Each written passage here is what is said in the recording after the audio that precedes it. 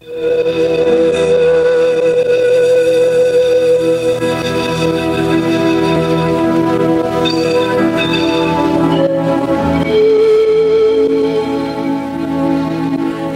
horário, a emissora da Fraternidade Rádio Rio de Janeiro oferta ao seu coração mais um programa Culto Cristão no Ar. Participe conosco.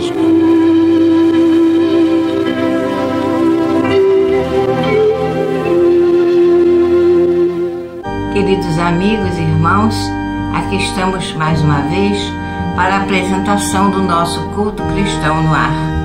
Hoje, com a presença dos nossos companheiros Ayrton Dias, João Carlos, Eni e Lidiênio. Estamos aqui para enviar a mensagem de Jesus ao seu coração. Que possamos entrar em sintonia com Ele e recebermos da espiritualidade tudo aquilo que estamos precisando. Vamos ouvir a nossa página inicial com o nosso irmão Ayrton Dias. Prezados ouvintes, sejam bem-vindos a mais um culto cristão no ar. Vamos à leitura de nossa página que tem o título de Lágrimas. Vinde a mim, todos os que estáis cansados e oprimidos, e eu vos aliviarei. Jesus, Mateus 11, 28. Ninguém como Cristo espalhou na terra tanta alegria e fortaleza de ânimo. Reconhecendo isso, muitos discípulos amontoam argumentos contra a lágrima e abominam as expressões de sofrimento. O paraíso já estaria na terra se tivessem razões para chorar. Considerando assim, Jesus, que era o mestre da confiança e do otimismo, chamava ao seu coração todos os que estivessem cansados e oprimidos sob o peso de desenganos terrestres, não amaldiçoou os tristes, convocou-os à consolação. Muita gente acredita na lágrima, sintoma de fraqueza espiritual. No entanto, Maria soluçou no Calvário, Pedro lastimou-se depois da negação, Paulo mergulhou-se em pranto às portas de Damasco. Os primeiros cristãos choraram nos círculos de martírio, mas nenhum deles derramou lágrimas sem esperança, plantearam e seguiram o caminho do Senhor, sofreram e anunciaram a boa nova da redenção, padeceram e morreram leais na confiança suprema, o cansaço experimentados por amor ao Cristo converte-se em fortaleza, as cadeias levadas ao seu olhar magnânimo transformaram-se em laços divinos de salvação, caracterizaram-se as lágrimas através de origens específicas, enquanto nascem da dor sincera e construtiva, são filtros de redenção e vida. No entanto, se procedesse do desespero, são venenos mortais. Página de Emmanuel Francisco Cândido Xavier, do livro Caminho, Verdade e Vida. Unamos o nosso pensamento a Deus nesse momento, pedindo a Jesus que Ele esteja conosco, abençoando-nos todos os dias da nossa caminhada. Jesus, amigo, aqui estamos reunidos em Teu nome para te pedir, Senhor, como sempre, as Tuas bênçãos, a Tua paz para o mundo e a consolação para todos aqueles que estão aflitos. Neste momento, a atmosfera da nossa pátria possa ser envolvida por nosso querido Bezerra de Menezes, pelo nosso querido também, instrutor da nossa pátria, Ismael, que eles possam, da espiritualidade maior, poder intuir as criaturas de que a obediência é necessária nesse momento em que vivemos. E possamos estar convictos de que somente aqueles que obedecem às tuas leis conseguirão, Senhor, vencer essas dificuldades. Abençoa o nosso culto nessa noite, que ele leve esperança, consolação e muita fé. E tudo isso irá passar e nós, fazendo parte desse grupo, como se fosse, Senhor, aquele grupo dos escolhidos para permanecerem na terra. Ajuda também para que o novo mundo venha, esse mundo de regeneração possa surgir e que a substituição, Senhor, das pessoas sejam feitas como está escrito no Evangelho. A cada momento será levado um grupo para que outros possam surgir à frente desse batalhão para vencermos as nossas dificuldades. Assim é que em teu nome, em nome de tudo bem, que a paz de Jesus esteja conosco, hoje e sempre.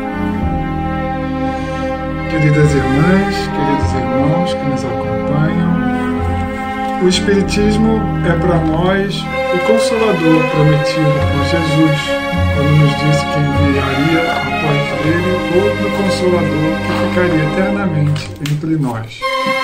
O Evangelho é um livro que traz em si essa essência da consolação. E hoje, o capítulo que nós vamos iniciar, ele é consolador até um título. Ele tem como título O Cristo Consolador.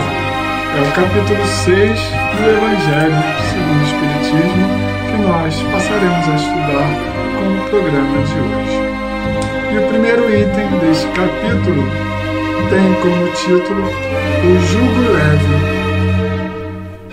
e começa com uma citação do Evangelho de Mateus que diz assim: Vinde a mim, todos vós que estáis aflitos e sobrecarregados, que eu vos aliviarei. Tomai sobre vós o meu jugo e aprendei comigo, que sou brando e humilde de coração, e achareis repouso para as vossas almas pois suave é o meu jugo e leve o meu fardo. E aí comenta Kardec sobre essa passagem de Jesus o seguinte: Todos os sofrimentos, misérias, decepções, dores físicas, perda de seres amados, encontram consolação na fé no futuro, na confiança na justiça de Deus, que o Cristo veio ensinar aos homens. Sobre aquele que, ao contrário, nada espera após esta vida, ou que simplesmente duvida, as aflições caem com todo o seu peso, e nenhuma esperança lhe mitiga o amargor. Foi isso que levou Jesus a dizer: Vinde a mim, todos vós que estáis fatigados, eu vos aliviarei. Entretanto, faz depender de uma condição a sua assistência e a felicidade que promete aos aflitos. Essa condição está na lei por ele ensinada. Seu jugo é a observância dessa lei. Mas esse jugo é leve e a lei é suave, pois que apenas impõe como dever o amor e a caridade. Essa frase registrada por Mateus, ela para nós, frequentadores do Centro Espírita Caminhos de Humildade, é emblemática. Uhum. Porque quando nosso companheiro Ângelo Júlio Chambarelli, presidente do Caminhamos na época, que inaugurou a sede que é atual hoje, né, ele contratou um pintor de letras e escreveu esta frase na parede que ficava ao fundo do salão, onde ficava a mesa de direção dos trabalhos. Então, para nós, essa frase é muito importante, porque durante muitos anos ela nos acompanhou sempre que entrávamos lá no Caminhamos. Eu era criancinha e lia essa frase lá na parede, né, durante muitos anos, como foi falado. Né? E nós vemos aqui que o jugo de Jesus era um jugo que nos convocava à observação das leis. E nós vemos com tristeza que no momento atual nem todo mundo está preparado para observar essas leis. Basta andar aí por fora e nós vemos a dificuldade que têm as pessoas de obedecer às leis, principalmente essas leis que estão sendo impostas devido à circunstância que estamos vivendo. E as pessoas estão longe de obedecerem. Se Jesus foi obediente o tempo todo ao Pai Celestial, por que, que nós temos essa dificuldade tão grande em obedecer o que Jesus nos ensina a fazer?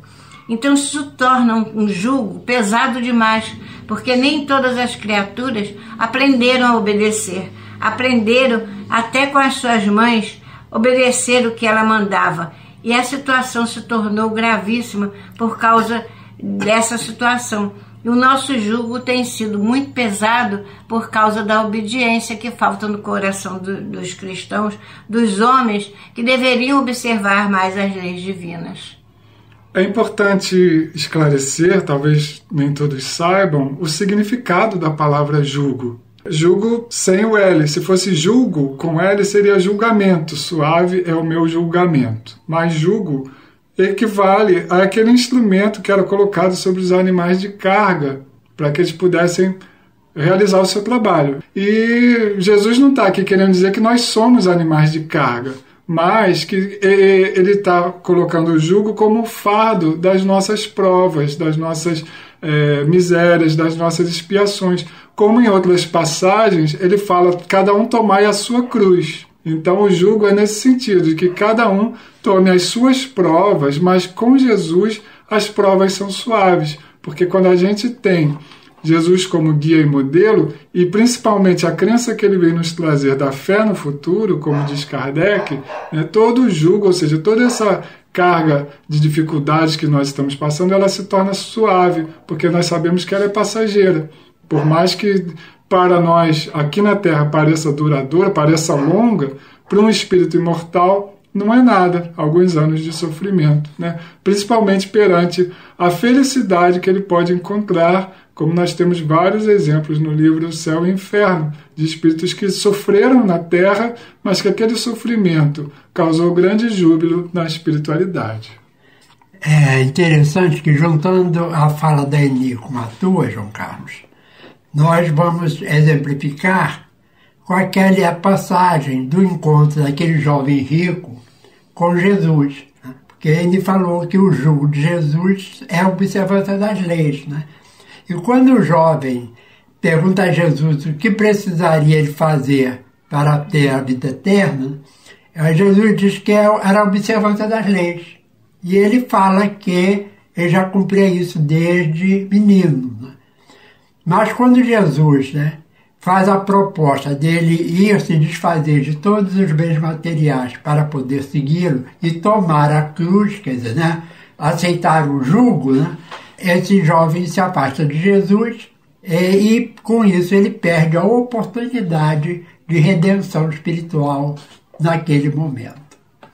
Não que ele não viesse a ter depois, né? mas ele poderia, poderia ter dado um salto na sua evolução, né? se tivesse feito aquilo. Talvez Jesus soubesse que ele não estivesse preparado para aquele salto evolutivo, mas já foi para ele um despertar eu imagino que aquilo tenha ficado martelando na consciência dele. Aquele convite de Jesus. É, né? Exatamente. E a gente observa que realmente, nós vamos até trazer bem para a atualidade né, a questão dessa pandemia, né, que é um julgo coletivo. Né? É. Não teve país do mundo que não tivesse vítimas dessa enfermidade. E as pessoas continuam, muitas, e eu posso até dizer que a maioria, completamente diferente. Como, por exemplo, citando aqui o exemplo do Brasil, que aqui a gente vê com mais frequência, né? agora mesmo nós é, observamos uma quantidade enorme de pessoas na rua sem máscaras, aglomeradas em bares, vários bares muito cheios, e a gente observa que para essas criaturas, a pandemia continua lá na China. não chegou ao Brasil. Então é a falta de observância das leis. Né? Quer dizer, existem leis, e Kardec deixa isso muito claro lá no livro dos Espíritos, que existem leis naturais e leis que são as dos homens, que devem ser cumpridas, devem ser observadas. Mesmo que a gente ache injusta, que não é boa para a gente, mas se é uma lei e foi aprovada, é preciso que a gente aprenda a cumprir, sem revolta, com obediência, para que a gente possa até ter condições de fazer as observações necessárias. Então nós temos que ter realmente condição de aprender a obedecer. Obedecer não só ao pai e à mãe, mas a todos aqueles que nos chamam atenção para certas situações que vai agravar mais ainda o mundo. Então, observemos as leis que nos estão sendo dadas para que não possamos chorar mais tarde. E isso realmente vai acontecer se não obedecermos. Mas aí a gente volta ao conselho de Jesus, ao convite que ele faz, né? Tomai sobre vós o meu jugo e aprendei comigo, que sou brando e humilde de coração. Então ele nos deu o exemplo né, de como resistir às adversidades, mantendo-nos brandos e humildes de coração, ou seja, aceitando o que a vida nos traz. O primeiro passo para a gente é, eliminar um sofrimento não é evitando, mas é aceitando, passando a entender o que, que aquele sofrimento representa para nós, quais as emoções que nós estamos vivenciando com aquele sofrimento, porque na verdade a experiência não é o que nos acontece, é o que nós tiramos daquilo que nos acontece. Então, quando nós nos mantemos brandos e humildes de coração, junto às adversidades, nós estamos aprendendo com Jesus a formar essa barreira interna contra os sofrimentos externos. É, inclusive, o início da frase de Jesus ela é muito importante, porque é um convite de Jesus. Né? Vinde a mim, vós que vos achais aflitos e sobrecarregados. E mais à frente nós vamos ver Jesus falando que ele era o caminho, a verdade e a vida. Então, não existe outro caminho. E é preciso que a gente Aceite esse convite de Jesus com humildade, mas aceite do fundo de nossos corações, sabendo que, estando com Jesus, nós estaremos amparados. Uhum. E sem Ele, realmente as coisas ficam muito mais difíceis. Portanto, o convite foi feito há dois mil anos e nós continuamos recalcitrantes como crianças teimosas que né, sabem o que é bom para elas, mas continuam fazendo as coisas erradas.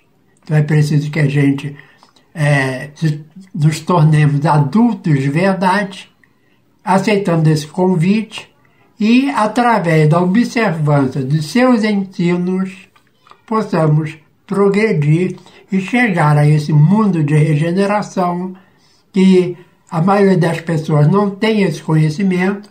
Nós espíritas é que temos o, o dever de conversar com as pessoas e mostrar que, até analisando as épocas passadas, mostrar que existe essa classificação dos mundos e é preciso que a gente se regenere realmente para podermos dar um impulso maior no nosso progresso espiritual e, como consequência, do progresso espiritual do nosso planeta, que anda sempre juntos. Uhum. Quando começou a pandemia, nós estávamos para completar 80 anos.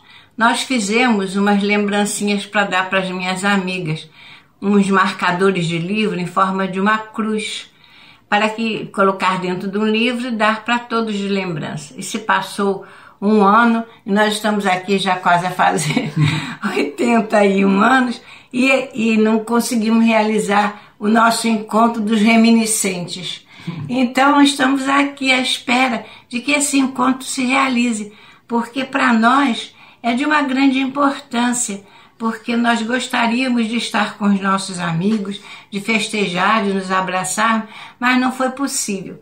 Mas não sei se até lá eu ainda vou conseguir fazer essa, esse encontro de amigos mas que possamos ter a coragem e, e a brandura no nosso coração de esperarmos que isso tudo passe, porque tudo isso para nós em nossas vidas não passa de um corretivo que o nosso Pai Celestial nos tem enviado para que possamos obedecer às leis que estamos no momento passando e que todos possam estar juntos. Então nós vamos ler aqui, encerrando o nosso estudo, do livro Poetas Redivivos, psicografia Franciscano Xavier, um poema de João de Deus, que tem como título Coragem. Se o desânimo procura mergulhar-te na amargura, não ouvides, meu irmão, que a vida por toda parte é nova luz a buscar-te, em doce renovação. Na mágoa que te domina, respira a bênção divina a brilhar aqui e além. Tudo é esperança e beleza, no trono da natureza na glória do eterno bem. Da noite estranha e sombria, a soma envolvendo o dia e a treva faz-se esplendor. Do inverno que dilacera, vem o sol da primavera e o espinho revela a flor. Da serra empedrada e feia, desce o regato que rodeia em generosa canção do charco de baixo nível, dejetoso e desprezível, ressurge o calor do pão. Coragem, recorda o ninho, despertando de mansinho toda a fúria do escarcel. E do além, tranquila, ao vê-la, coragem, repete a estrela, florindo ao azul do céu. Assim também, cada hora, trabalha, perfia e chora, guardando a fé clara e sã. Padece, mas busca a frente, lembrando constantemente que o dia volta amanhã. E assim, Senhor, nós te agradecemos essa oportunidade, principalmente a oportunidade de estar vivos, de conhecer esse Evangelho e de ter o Cristo como consolador para as nossas dores. Abençoa cada um que nos ouve, que possa também ter as suas dificuldades, o seu jugo aliviado, repartindo com Jesus, repartindo com qualquer irmão que esteja próximo, com aqueles com quem podemos contar, às vezes por uma simples mensagem de texto, por um telefonema, que não estejamos sós com as nossas dificuldades, que possamos reparti-la, assim como possamos também repartir nossas felicidades, nossos momentos de alegria, de vitória, de contentamento. Fica conosco, Jesus, hoje e sempre. Que assim seja.